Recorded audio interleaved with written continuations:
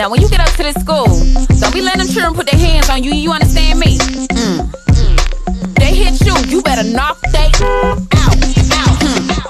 Now was it worth it? My, I worked it. I put my book down here like we rehearsed it. I said black, blick, blick, black, black. I said black, blick, blick, black, black. Cause if you hit me, I'ma hit back. And if you